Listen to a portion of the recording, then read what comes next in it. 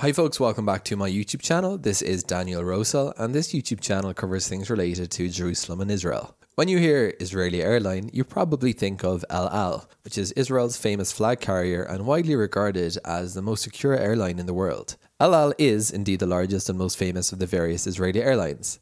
However, there are a few more Israeli air operators operating both domestic and international routes.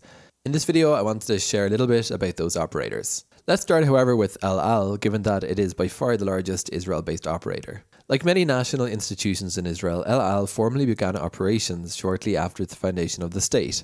The story goes something like this Israel's first president, Chaim Weizmann, needed to get back to Israel, but only a military aircraft was available. Israel was under embargo at the time, so some creative thinking was required in order to convert a military plane into a civilian one. El Al formally began operations on the 15th of November 1948, although it wasn't until the following February that it purchased its first aircraft, two unpressurized DC 4s, which it bought from American Airlines. Today, El Al operates an all Boeing fleet of 44 aircraft. By comparison, Delta operates more than 900 aircraft, so by international standards, El Al is still a relatively small airline. The smallest member of the El Al fleet is currently the Boeing 737. It operates both the 737-800 and the 737-900 ER variants. Its largest aircraft is the 787 Dreamliner. Between two variants, El Al operates 15 Dreamliners on long haul flights around the world. El Al's list of destinations includes European destinations like Vienna, New York and Los Angeles in the US, and since more recently, Casablanca in Morocco. While El Al has to date only operated Boeing aircraft, the carrier included Airbus in an RFP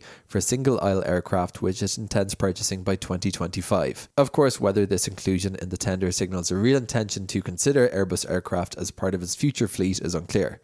While the other Israeli airlines now operate Airbus fleets, El Al has struck rigidly with Boeing so far. El Al has one subsidiary brand called Sun D'Or. Sun D'Or was an independent operator until 2011, but it's now wholly owned by El Al. The smallest Israeli airline by fleet size is Arkia. Arkia has a fleet of five aircraft and flies to 25 destinations worldwide. Arkia was actually founded all the way back in 1949, just one year after Israel became a state.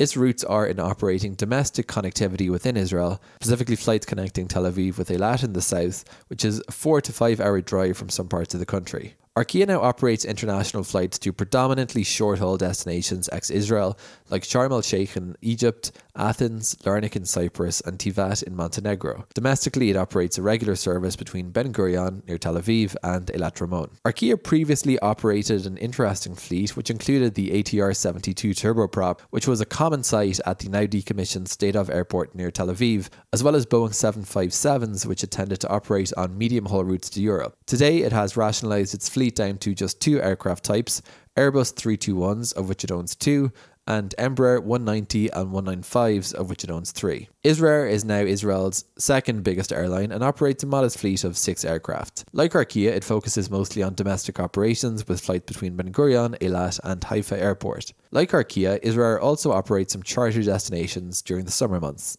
The colourful list of destinations that it serves during the busy peak summer months includes Prague, Rhodes, Batumi in Georgia, Malaga, and the idyllic Indian Ocean island of Zanzibar, which has grown in popularity in recent years as the destination for Israelis. Israir has a fleet of six Airbus 320s and one Bombardier Dash 8. Like Arkia, Israir used to operate a more diverse fleet, and its list of decommissioned aircraft also includes ATR turboprops as well as the Boeing 767. Finally, we have the Israeli airline that everybody forgets about. CAL is the name of a credit card issuer in Israel, but is also the name of the country's only dedicated cargo operator. CAL is an abbreviation for Challenge Airlines IL and has its corporate headquarters in Shoham. Established in 1976, CAL made headlines a few years ago for purchasing an old Boeing 747 on Taobao.com, which is a Chinese e commerce website. If you're wondering whether this is the equivalent of an airline purchasing an airplane from AliExpress, then it's a pretty good comparison. Specifically, the airline bought the last Boeing 747 ERF on the market and preparing to make the bid on the Chinese website took three months of dedicated work. CAL has previously floated the idea of operating passenger flights to the Israeli Civil Aviation Authority. If it did, it would of course become the fourth Israeli airline to operate civilian routes, although to date this hasn't taken place. CAL has a hub in Liège in Belgium and moves about 100,000 tons of cargo every year. For fellow aviation buffs and geeks, I hope that this video was interesting. Thanks for watching it,